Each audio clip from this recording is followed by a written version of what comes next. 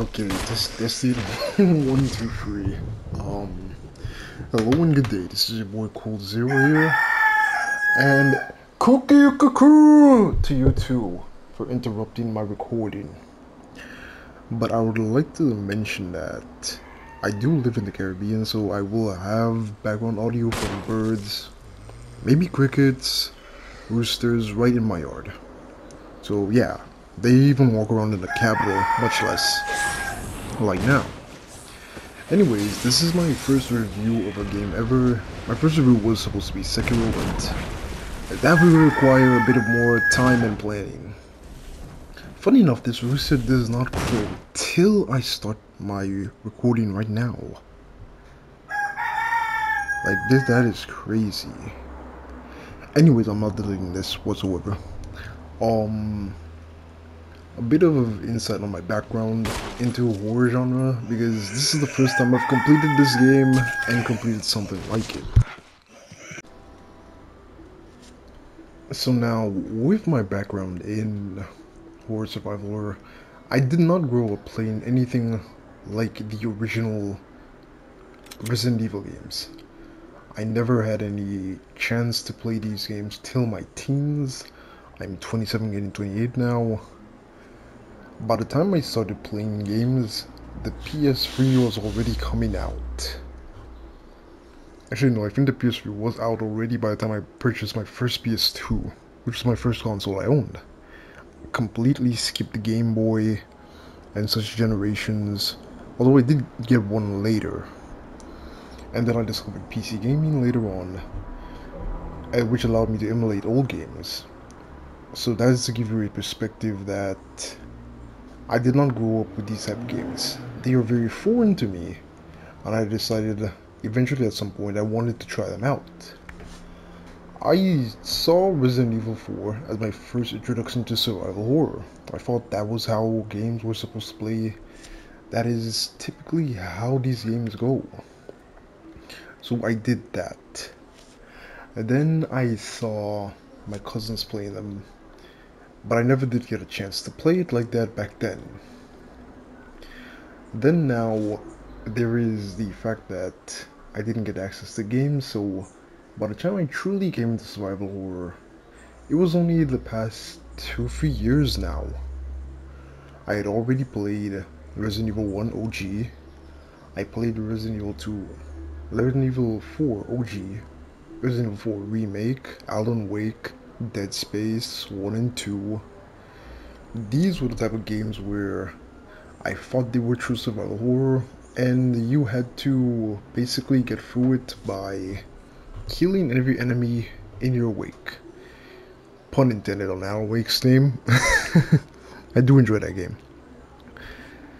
It was later on that I realized, compared to the OG Resident Evil trilogy or the OG Silent Hill games, of which I've never played Silent Hill game, but I refuse to play them, but that's a whole entire topic for itself. Other than that, I thought Survival Horror was supposed to play like Resident Evil 4, so when I realized you could play this game, Resident Evil 1 HD Remaster, right? Which is a GameCube port, remaster port, by Shinji Mikami himself, of the original PlayStation title when I realized you could play this game and you could soft lock yourself by not having the knife in your inventory, running out of ammo, and you got a whole bunch of enemies to deal with. I was truly surprised, like what madman would create a game like this? It was utterly ridiculous to me at the time. Flash forward to present me now. I played the original I played actually, like I said, Alan Wake, Dead Space, and so on. And then I realized to myself, you know what? I'm tired of being able to kill every enemy in sight. I'm a little bit tired of having to run up and down, kill every enemy, and then know that it's possible. I want something deeper. I want something that makes you more desperate. So then I went on to go and try Tormented Souls, actually. I got it on a good deal. It's a nice indie horror game. which I will be streaming it soon after this video comes out. Hopefully, if I don't end up playing Helldivers 2. But I played Tormented Soul, and it gave me that tense feeling. You know, you had to solve real puzzles, unlike Alan Wake and Resident Evil 4. Or 5 and 6 for that matter didn't even have any puzzles. Or unlike Dead Space, which were pretty much the combat was the focus. I realized in um, when I played Tormented Souls for the first time, there were certain enemies I had to leave alive. It did not make sense to kill every enemy. What I, I dodged what I could dodge, I killed what was an inconvenience, and I tried to figure out and work my way through the puzzles. Suffices to say I made it to the end and final boss of that game, didn't finish it for some reason. I think I'll leave that for a live stream. I did play it offline by myself. And now, recently now, I purchased Resident Evil 1 HD Remaster for 5 bucks. And yeah, I tried it out. I honestly, I dreaded it. I thought I was gonna be in for... I think I picked normal. I thought it was hard. The option that lets you, that says you prefer your hikes like climbing like a mountain or something like that, I thought that was hard mode because all the other ones seemed easier. It's very easy, easy and normal, I think. For hard mode. Anyways, I picked I picked the more difficult options because I am a Soulsborne player and I like to do this to test myself. See how well I do under pressure in these games. And boy oh boy did I have a blast. I streamed this game in one of my streams on my day off. It was 9 hours, almost 10. If I started any earlier, it would have probably gone 11, 12 hours. Because genuinely, I honestly did not expect to enjoy this game so damn much. So let's start with presentation. At the beginning, you're started with knowing that you're part of a special team called STARS. Alpha Charlie Bravo, Bravo team. Some you're a part of a group called STARS, which is basically like the state special service or something like that. And you're sent to investigate these gruesome murders at a mansion in a place known as the Arklay Mountains. You get separated from your team, attacked by what looks like half-dead dogs, and then you're thrust into this mansion that you see here now, and you've got a chance to pick one of two characters, Jill Valentine or Chris Redfield. From what I see, there are variations to the enemies they fight, certain rooms they can or can't go in, or the order of things, depending on the character that you picked as well as Jill Valentine has more inventory slots. I think Chris own cuts off at here, so he has 6 instead of 8. Chris starts off with a lighter, which he can use. Jill starts off with a lockpick to pick locks. Different things, you know? Which is something, when I did play Resident Evil 2 Remake, I cannot imagine why they made Leon and Claire's playthrough, except for certain guns they get, so freaking identical compared to Jill and Chris's playthrough. Which really haggles my mind why they would do such thing. Honestly, it, it makes no sense to me whatsoever. But, um, moving on. You're part of this team, you enter the mansion, and you have to look around and figure stuff out. First and foremost, you cannot kill every enemy. That is utter nonsense to think or try to kill every enemy in the game, honestly. You just can't. So you have to figure out which enemies can be killed and which enemies should be left alone and you should try dodging them, honestly. Or else you're gonna end up in a real situation here. Like this one right here in this tight corridor, it's clearly the better option to simply get rid of this guy once and for all because it's to be hard to dodge in such a tight space. Whereas if you're in a more open environment, you're to want to get rid of them once and for all. And then you have to figure out what Resident Evil puzzles now do not seem too too hard. They're more like fit me puzzles. They give you the piece and the solution, you just have to figure out where they go and how they go as opposed to certain games like Tormented Souls, which definitely outdid Resident Evil on its puzzle system. Maybe outdid it too much. Whereas if you are stupid, you will not make it through Tormented Souls puzzles. If you didn't go to school, study a certain subject, to know some geography, one particular puzzle is going to give you a headbanger. Because at no point do I see in the game does it actually tell you or emphasize that, well, you can go this or you can do this here. That's something you just have to know and figure out, honestly. Let me just see how to do that. But Resident Evil has 50 puzzles. One thing I think about this game nails is the atmosphere and the settings. This game came out a long time ago, but to me, graphics are the last thing on my list when I judge a game. I judge a game by its gameplay, its music, its story, voice, and characters, its world, then its graphics. So to me, you're not gonna hear me pinpoint how this looks like they could give it a PS5 upgrade, but not. To me, as long as the gameplay is good and the characters don't act retarded, that is pretty much all I need. But yeah, you start off with your pistol. It's got a few shots, and you can use it mostly, if you're lucky, you'll get a critical. If you are not lucky, you will expand a lot of bullets and take out the zombies. The thing you've got to understand is that zombies do not die immediately. They take a while to go down, depending on the gun you're using or how lucky you are. And they will more than often get back up unless you've blown off their head with a critical. Otherwise, typically they will be just fine. But you also have to... Oh, shit. I really don't like when this happens. I'm recording this live. I'm on PS5, no PC or laptop, so it has to be done this way. Or use Share Factory and I'm not gonna record an hour video then voice over it. I'm, I'm just not gonna do that.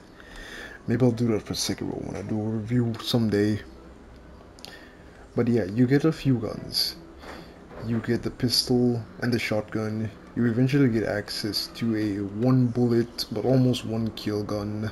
That's I think the self-defense gun. Then you get a magnum later at some point. I think Jill gets the magnum from the other character, but Chris has to find one, and for Jill she can find two, which is basically double the ammo. You have to conserve ammo, because unless you will be getting criticals on every single hit, you will never have enough ammo to finish off every enemy. Enemies will eventually get back up, and the only way to permanently kill some enemies, unless it's a headshot, is to burn their corpse, but you will never get enough kerosene to fully burn the corpses, so you have to choose which enemies are so dangerous that you will willing to burn that corpse and make sure they never get back up if they pass you that way. It's a honestly it's a thing where you have to pick and choose your battle. Otherwise, you are essentially can't continue the game. If you think you can play this like The Evil Within or Resident Evil 4 or Dead Space or Alan Wake, you cannot kill every enemy. And that's pretty much it for there. I don't particularly have any issues with the games. I did enjoy it. Except like what you see now. I could have passed that enemy, but the issue I have with it is the fixed camera angles. I am not used to them, I did not grow up with them. So in a way, that is completely on me. But because I'm not used to it, it made the game essentially kind of a nightmare at times. Because there were certain enemies I could knife. I could totally take the knife. It would take maybe 15-20 hits but I could take the knife and essentially kill them with the knife, which would make things a lot better. But it, the constant switching of the camera angles, it is not particularly easy. Sometimes you'll be walking forward, the camera angles will switch to the point where you have should be looking back. And then that becomes an immediate issue right there. But that's just one, that is honestly the only current nitpick I have of the game, like right now. See this? I'm literally running back, holding back, then I have to stop, turn, switch, turn, stop again, and readjust how I'm holding the analog. Otherwise, I will be in this infinite loop running backwards, forwards due to the fixed camera angles, which is something, again, I did not grow up with, so... Uh, yeah, it, this game does come with tank controls. It does come with tank controls. If you want, for those who played the original version and they want to use the D-pad, and then when you do that now, you can play it like that. I will custom of analog, so that's what I play with. Again, the puzzles are not too hard at all, honestly. It's just a matter, I only got stuck on one puzzle because I simply, there was a door you didn't have to interact with till the end of the game. So I never realized I had to go there because I completely forgot that door existed to begin with. But other than that, I've had a smashing experience having to use my brain and struggle for the area using your head instead of simply shooting through everything like it's an action game. It really tests your skills of how you play, how you manage your inventory and resources. You have to do a lot of backtracking in this game. That personally, offline if I'm playing for myself, I didn't mind. On the stream, I didn't want to bore my viewers with constant backtracking. But yeah, it all depends on the individual. Strongly, I recommend this. I highly recommend this for anybody that wants to experience true survival horror.